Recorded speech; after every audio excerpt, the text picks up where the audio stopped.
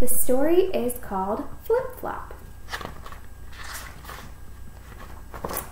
Flip Flop. Flip Flop, we can't decide. Swim in the pool or chase the tide. Do cannonballs or ride the float. Fish from the dock or sail the boat. Flip flop, what should we do? Check out the fair or try the zoo? Ride the coaster or win a prize?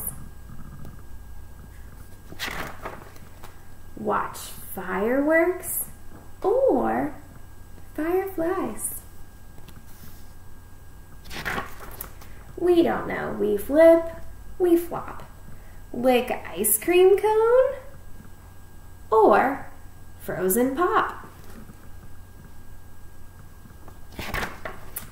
Help wash the car or swing and doze. Sip from a straw or garden hose. Wear flip-flops or toss the shoes. Two bare feet are what we choose. The end.